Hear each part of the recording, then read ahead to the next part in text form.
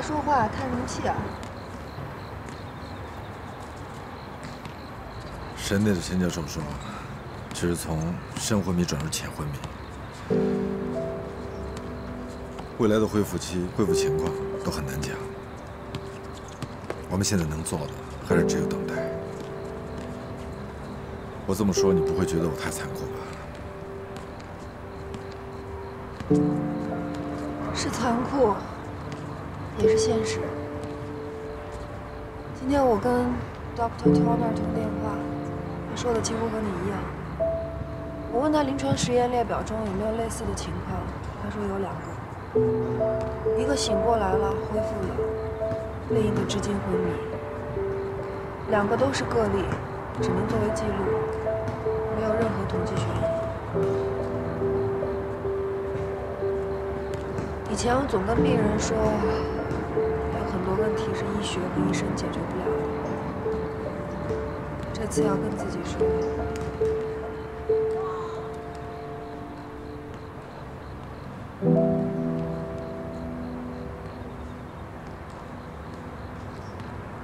我相信有一天他会醒。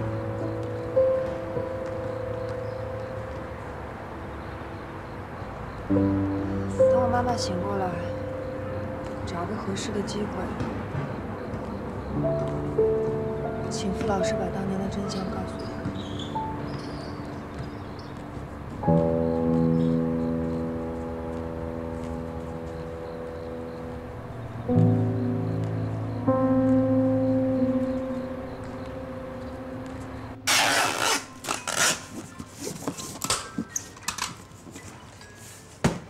终于收拾完了。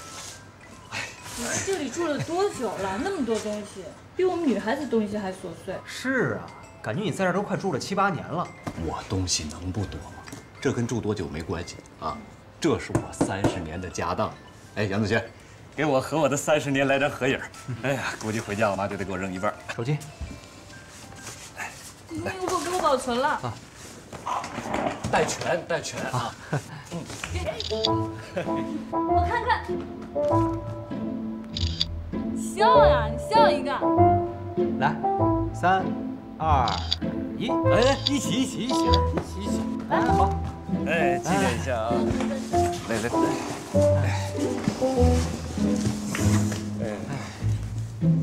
哎，哎，是我太吃亏了。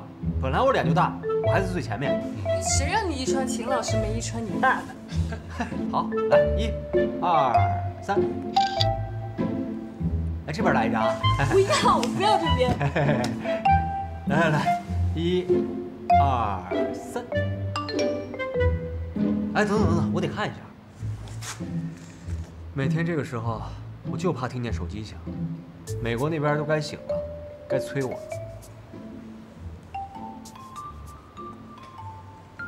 果然，NIH 那边的教授在问我研究进程。可我的这个结果，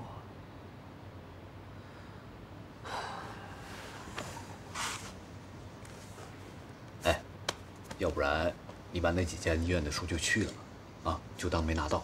嘉林市区那几家还可以，数据还说得过去，没那么过分。对啊，杨院长的正式任命马上就下来了，你这也太不应景了。应景的我也发了，救灾数据分析，够好的了吧？有功德可以歌颂，有错误就不能指出啊。不知道人家是医学科学家。我知道他肯定会说，医学科学家的基本底线就是实事求是。哎，那可是你爸哎！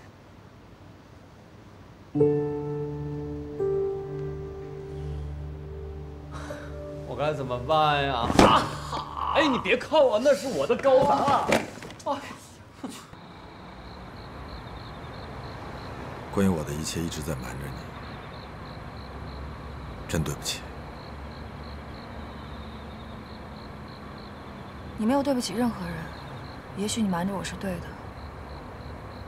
我到现在都想不通，他们两个人当年为什么要这么做？为什么不提出是利多卡因导致过敏呢？当年这件事儿究竟牵扯了多少人？有多少人漠然无视这个谎言，不愿深究？这样的事情居然发生在让我骄傲的人和，真是讽刺。现在看来，其实这件事儿的原因，只是当初对利多卡因致敏的不了解。这本来是医学科学发展中必经的过程，应该作为一次医学发现来定性。然而，休敏琪和傅博文无法接受病人治疗中死亡的事实，他们出于懦弱和自私，掩盖真相，嫁祸于人，才造成了这个本不应该发生的悲剧。医学科学是纯粹的。但是人在探索和运用它的过程中，是复杂的人性让它变得不那么纯粹了。你这是在开解我吗？也是在开解我自己。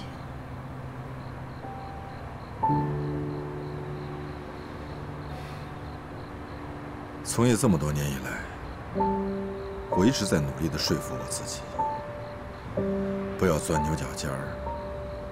不要仇恨，不要偏激，但是真的很难。所以在你心里，仁和兄外一定是一个让你不耻、让你痛恨的地方吧？我妈妈出事之后，我不只是恨人和胸外科，我也恨医生这个职业。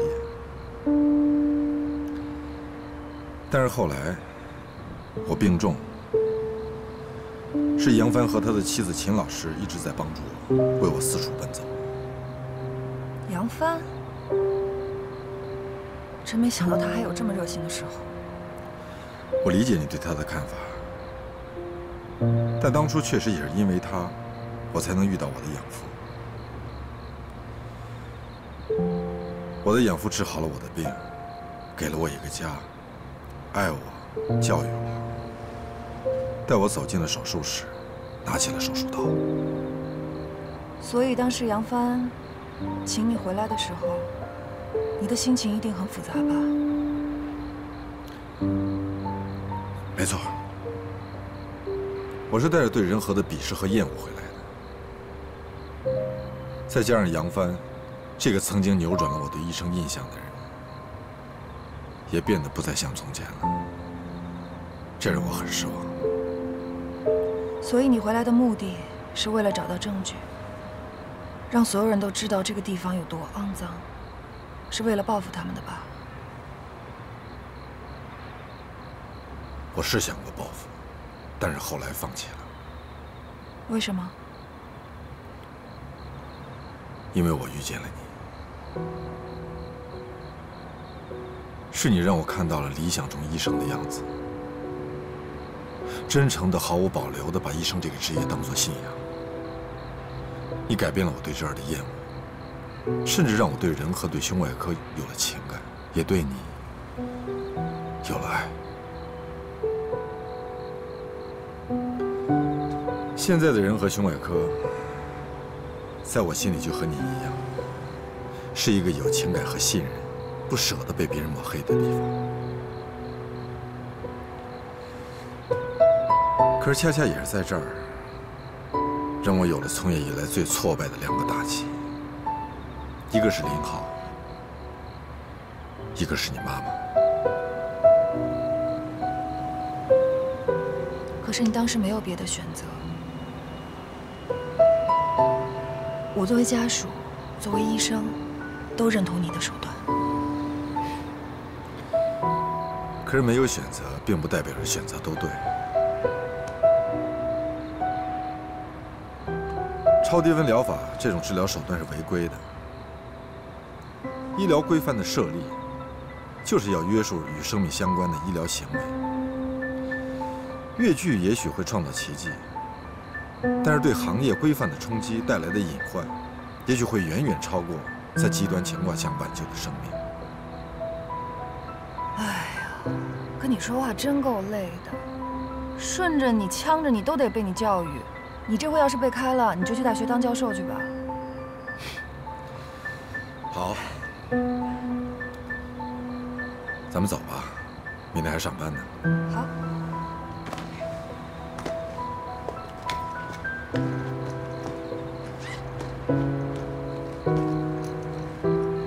被提前解聘了，你愿意跟我回美国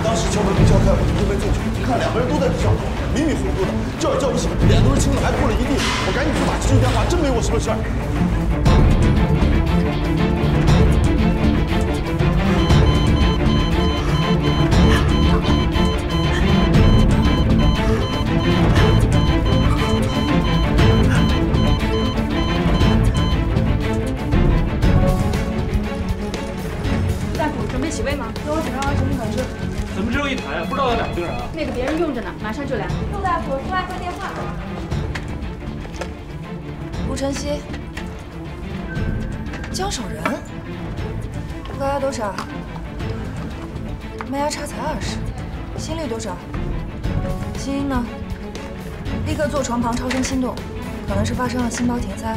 我现在有病人过不去，叫张大夫。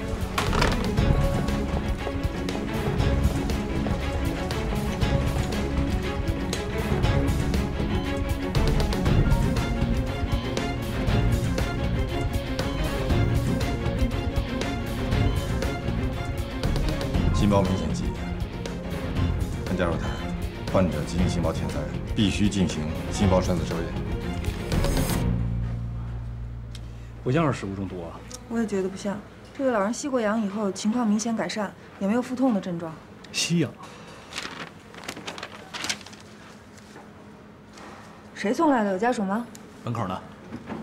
啊，我跟你说啊，我现在回不去了。我跟你说，太倒霉了。谁是家属？家属在吗？啊，我我我我啊，我我不是家属，我是个送快递的。我当时敲门没敲开，我就推门进去了，一看两个人都在地上躺着的，迷迷糊糊的，叫也叫停。停，看看他们俩吃什么吗？看见了，桌子上有啤酒，还有烤串。烤串儿。他们自己烤的吗？是啊，屋子里还摆了一个木炭的烤肉炉子，还不小呢。查碳氧血红蛋白，联系高压氧舱做准备。好。放松啊，别紧张，放松，很顺利，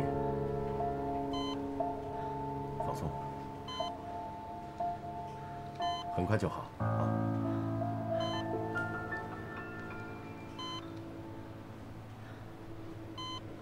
快速太阳血红蛋白定量检测。好，高压氧舱。对，两个病人，我们全程陪护。哎，好嘞，好嘞，好嘞。怎么样？可能要再等一会儿。怎么回事？呕吐物，呕吐物阻塞气道，肯定有吸入。准备先支进。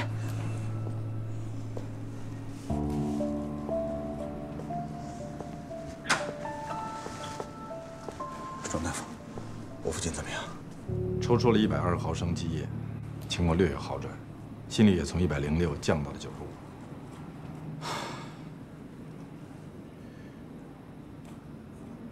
陆大夫什么时候过来啊？陆大夫现在急诊，正在抢救一位一氧化碳中毒的病人，暂时过不来。我父亲也出现了紧急状况，已经心包穿刺了。他作为主管大夫就不能出现一下吗？陆大夫是食道癌手术方面的专家，你父亲的手术因为难度大，所以才特别请他来主刀。而他现在出现的这种突发性心包填塞，急需对症处理，这方面我和陆大夫没有区别。好吧。那么我父亲为什么会突发心包填塞呢？可能是因为肿瘤，或者心血管本身的问题，也可能是因为化疗药引起。待会儿陆大夫过来，我们会一起会诊。好，谢谢。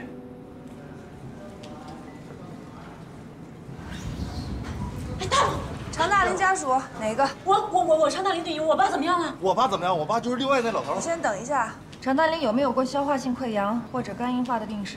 对我爸他老胃病了，前段时间还犯过呢。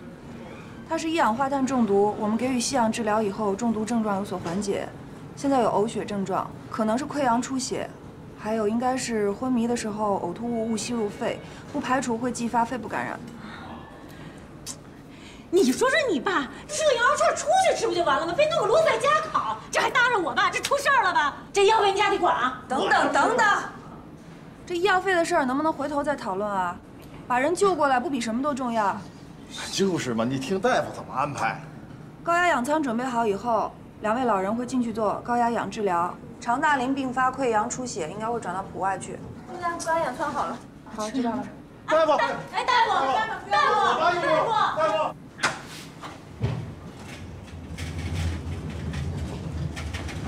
江总，抽液已经完成了，你可以去看你父亲。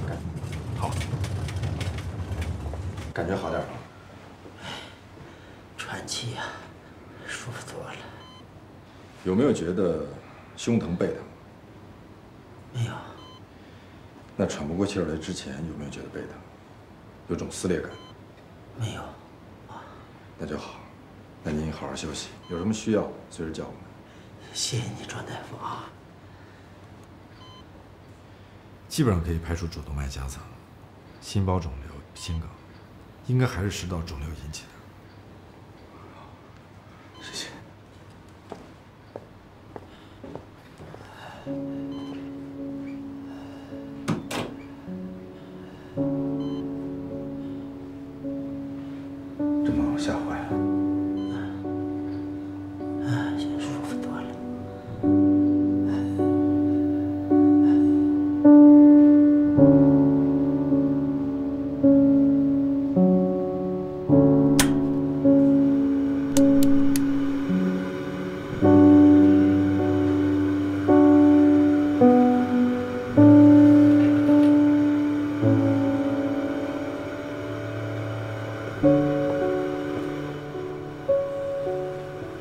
完成后，常大林要转普外去了。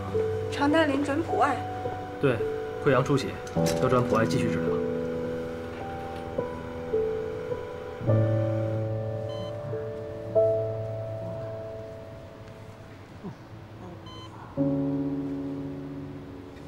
出血现在基本已经止住了，二十四小时之内要及时进水，还好是一氧化碳中轻度中毒。呃，再过一个小时再做一次太阳血红蛋白的检查。嗯，大夫啊，你们主任呢？刚才有个胰腺炎，我们主任啊进手术室去了。那我爸要是再出血了怎么办？还找你啊？呃，如果你有什么问题或者患者出现什么症状，你随时来找我。如果我解决不了的话呢，就去找我们上级医师。你们仁和医院怎么都是一帮小年轻啊？急诊急诊是个小姑娘，这到了外科还是，就没有专家教授什么的吗？你说我是小年轻，没经验，可人急诊陆大夫不是，他就是我们院胸外科的专家。就那个急诊的女大夫啊，就她，就她还专家呀、我骗你干什么呀？不相信你去打听打听，整个胸外科谁不服陆大夫啊？就连医药公司老总的父亲做手术都点名找他。老人啊，现在就在胸外科住着呢，等他做手术。人家在我们院急诊都是屈才了。好，好吧，那我待会儿再来看你爸啊。是不是专家？是。爸，是啊，好点了，爸。化疗造成的。是的，不能继续化疗了，除了手术，没有别的办法。那就是冒险呗。毕竟是院长的朋友，医药公司老总的父亲，我心里还是有顾虑的。在灾区连手术帐篷都没有，同时两台重伤，还有你不擅长的心包伤，你都做到了。现在夸我有用吗？我现在还是下不了这个决定。陆大夫，阿姨心律失常了。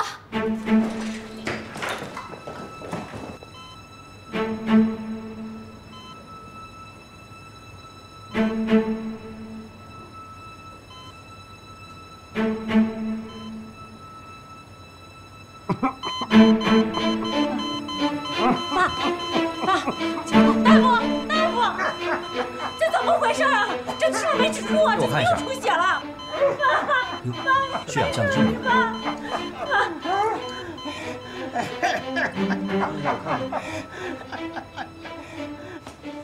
Okay. I'll send over today's data right away.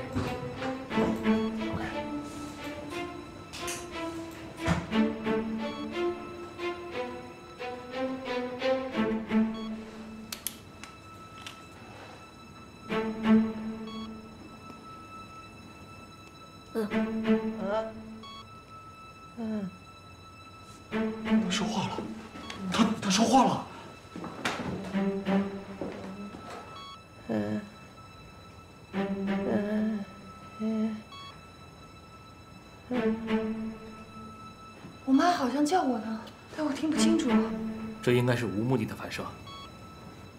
能说话就好。黄大夫。啊。怎么又心律失常了呢？这类脑电波是不是因为脑部反应活跃，有神经递质分泌影响了心率啊？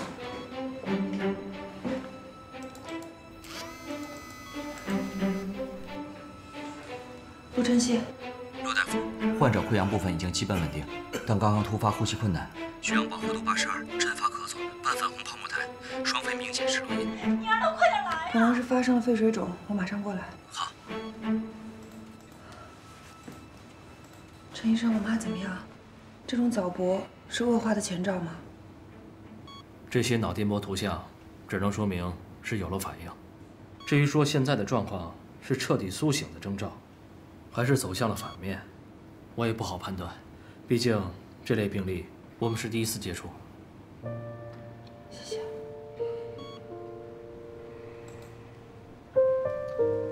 普爱叫我，我得马上过去。你去吧，我在这儿。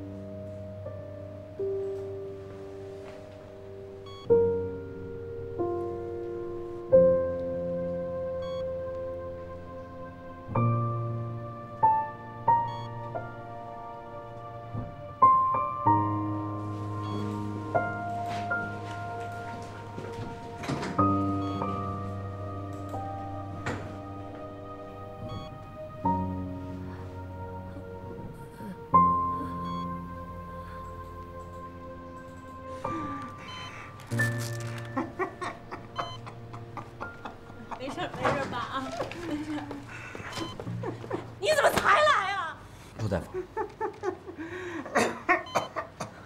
爸爸爸。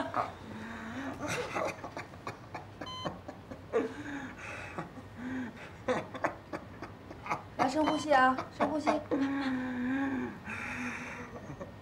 来一次。抽血做血气分析，叫床旁兄弟。好，知道了。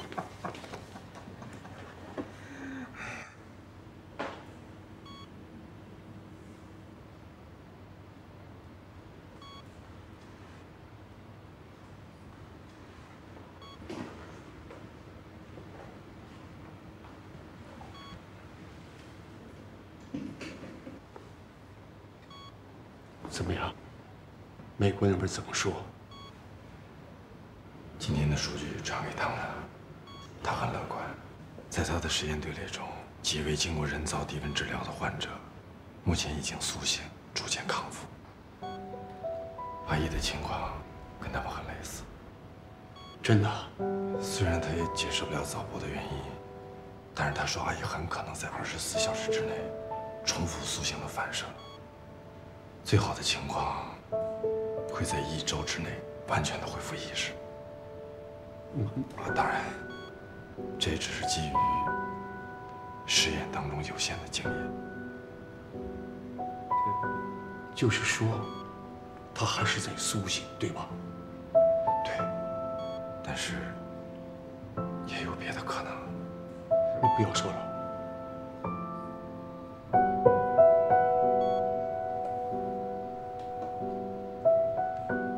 相信他能醒过来。他知道我守了这么多天，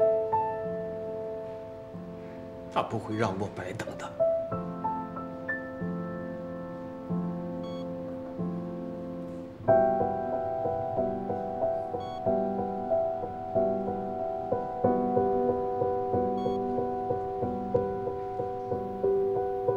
现在就上呼吸机啊，罗大夫。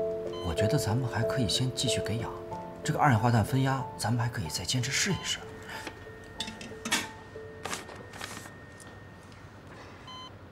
这二氧化碳分压一个小时前的了，已经到极限了，而他在这二十分钟内发生了肺水肿，说明什么？情况正在迅速恶化。我觉得还是等那个新的检查结果出来之后，我们再太晚了，这种情况不能拖，一旦发生不可逆的伤害，人就过不来了。血检要做，不能等结果啊！我的经验，现在就得上呼吸机。罗大夫，您过来一下，过来，来。我不是不相信您的水平，可是这个病人家属真够难缠的，大部分的患者对这个有创治疗很抵触。如果说你在检查结果出来之前就给他上呼吸机了，他们要是揪着不放的话，如果耽误了黄金治疗时间，发生了不可逆的伤害，甚至死亡，事情会更麻烦。就算家属再不能理解，我们得做到问心无愧啊！为了规避风险，不及时抢救，到时候不用家属指责你，我们自己心里就过不去。好吧，陆大夫，既然你决定了，那我就配合你。呃，等会儿我出去跟外面的家属去解释一下。我做的决定，待会儿我去吧。林大夫，呼吸机到了。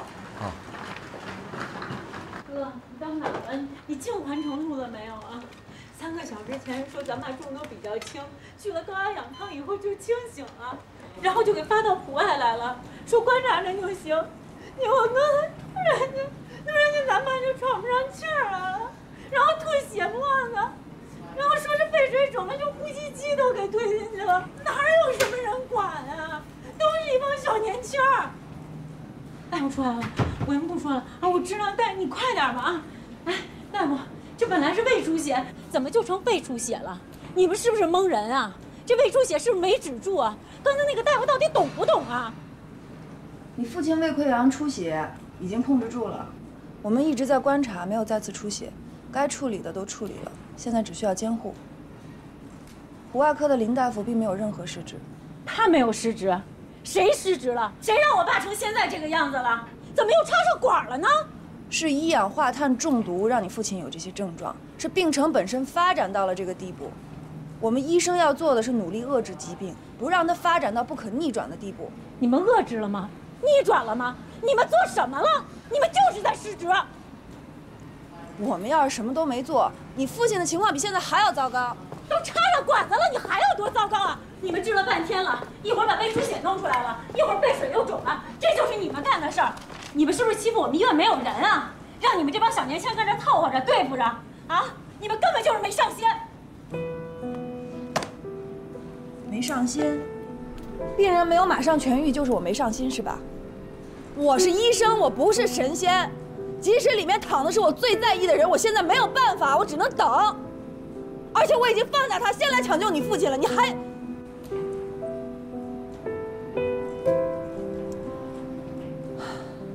你父亲肺水肿，有可能是一氧化碳中毒的后续反应，也有可能是误吸了胃内容物。我已经联系 ICU 了。还要进 ICU，那还能出来吗？我告诉你啊，你要是对抢救和治疗的过程有任何质疑，联系医务处或者第三方机构。哎，你这床有任何后续情况，给我打电话啊。嗯，好。你还没给弄好呢，哎，我说你还有理了是不是？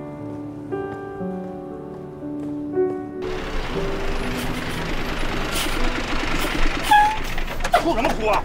别哭了，我来了。我就不信了，想势利眼欺负人，门都没有。我非把他们的主任专家都揪出来，专门给他妈看病。行了，不说了。又出现什么情况了？患者再次心痛，呼吸困难，心率、呼吸频率骤增，但 TT 检查未见心包积液出现。刚才心包积液的时候是右边心腔受压，左边心室功能完全正常。怎么会这样了呢？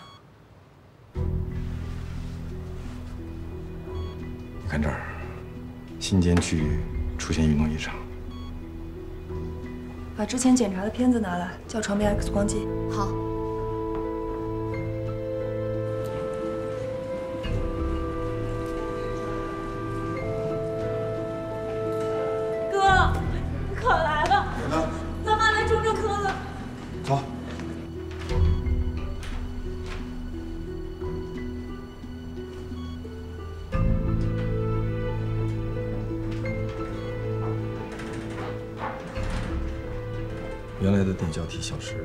胸前导连异常，耳波消失。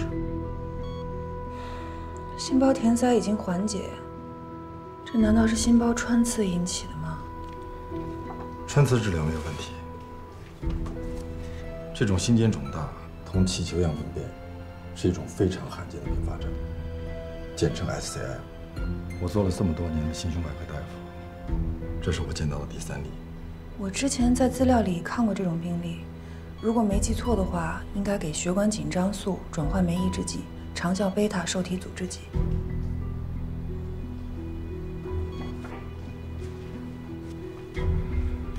但是现在最紧要的问题是，患者已经不能继续再承受化疗，如果不马上手术，再发生心包填塞，那就真的没办法了。不能承受化疗，肿瘤不会缩小，而实行手术，他心脏又承受不了，这简直就是个悖论。我建议停掉所有的化疗药，等患者 SCM 情况有所缓解，马上手术。他的心脏怎么可能承受手术啊？而且是这么难的手术，否则只能放弃治疗。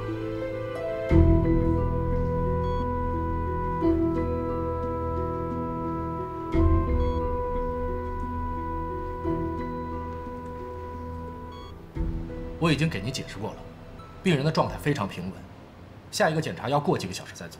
我们现在做不了别的，只有等待。等什么等啊？等不了！我就问你一个问题：一共两个人煤气中毒，说我爸是轻的，轻的怎么就进了重症病房了？这个轻度指的是中毒，重症病房指的是……这样啊，我呢是重症科管床大夫，负责的是病人到这儿以后的一切问题。至于在进 ICU 之前，病人为什么会出现出血，为什么会肺水肿上呼吸机，我没有参与，不能给您解释。你个管床大夫给不了解释，那你告诉我，谁能给我解释？你别动手！我没动手。这个，你得找首诊大夫去。不是他，不是他。那谁呀？谁呀？遇到这样的病人家属，真是怎么说都说不清楚。你赶紧给急诊打个电话，别再闹起来。行。您父亲的心包填塞已经得到缓解，虽然不会加重肿瘤，但是之前使用的无心肌毒性的化疗药，就是你们先锋公司的产品，恐怕对你的父亲。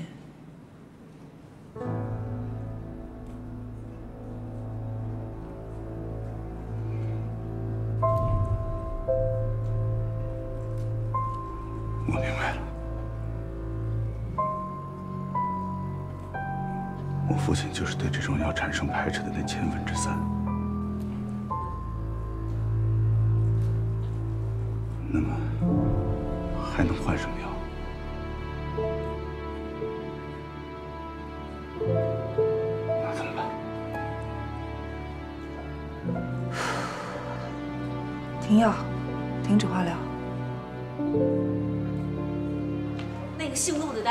急诊就是他，到了普爱还是他，他可推不掉。而且那个管外那个小大夫跟我说了，他是什么专家，什么老总爸爸的手术都找他。他自己也跟我说了呀，有个更重要的病人还在胸外等着他手术呢。所以他就把咱爸晾这儿了，急着去见那个老总的爸。可不是吗？玩意儿！哎呀，你就帮我去看一眼吧。哎呦，我不去，我不去呀！你自己去庄老师办公室不就行了？那你得帮我看一眼我爸在不在啊？你明知道你爸不让你过来，你还往这瞎跑什么呀？陈少聪都从他们家搬走了，我再去他们家也不合适啊！你懂不懂事儿啊？哎呦，我不管，我不去。丫头，胸外科怎么走？前面路。走。哎呀，帮我去看一下。哎呀，说了我不去。我本来呢是想放化疗，把肿瘤大小控制在安全的范围内。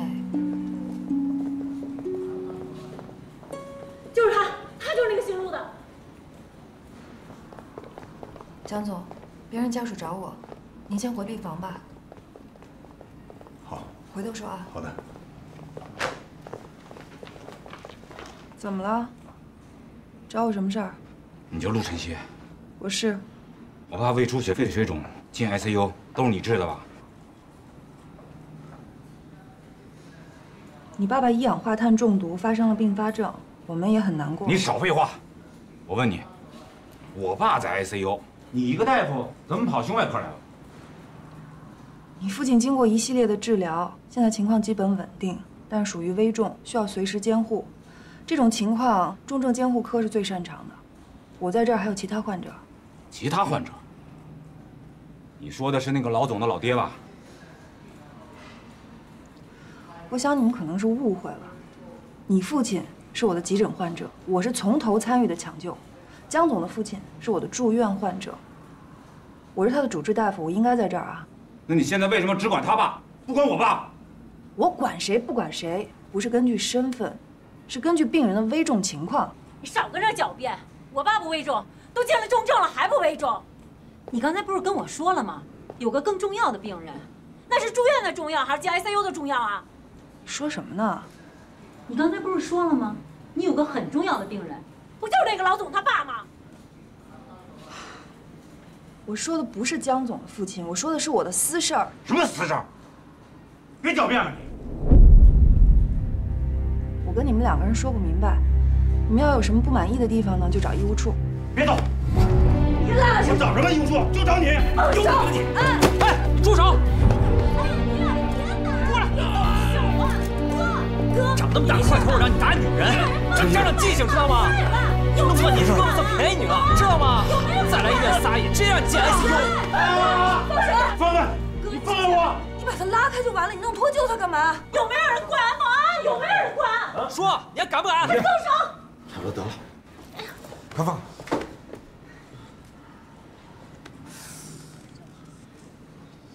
给我脱臼了，赶紧去骨科吧。几楼？六楼。你等着。我等着。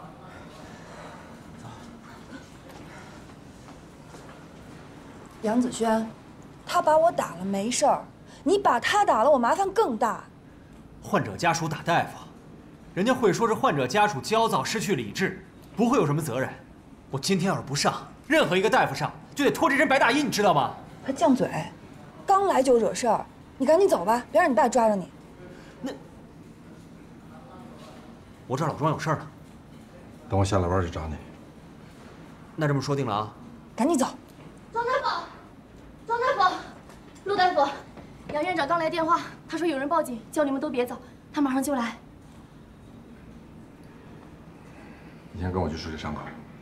你，我知道了，我在这儿等警察过来。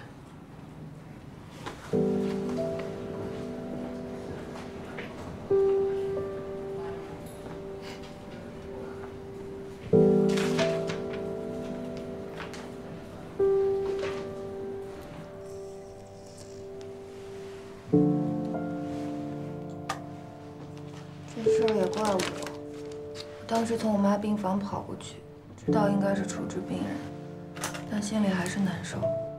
后来他一说我不尽心，我就觉得委屈，我就跟他说我放下我心里最重要的人来看你爸，就是这句话让他误会了。也是，老人刚进 ICU，他们又不懂医，也不懂医院的流程。我要是多说几个字儿，可能就没这事儿。等等，消毒前我要再找个镜子。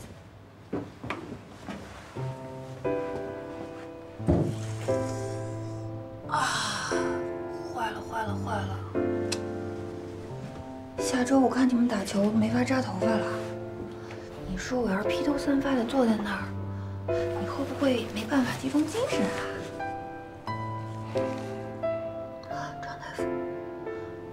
留下疤了，你可得负责呀。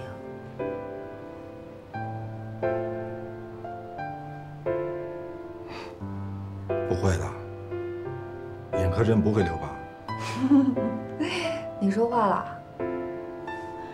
我挨了一下，你黑着脸哆嗦了半天，生气不说话。现在好了？好了，不用说了，明白你的心思。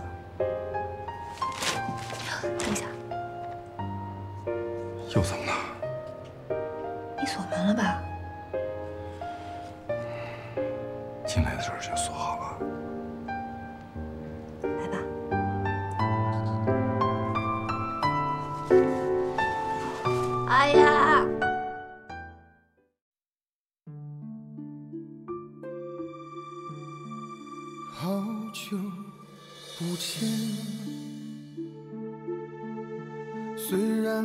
是我们第一次相遇，我看见阳光落在我左边，你的影子在右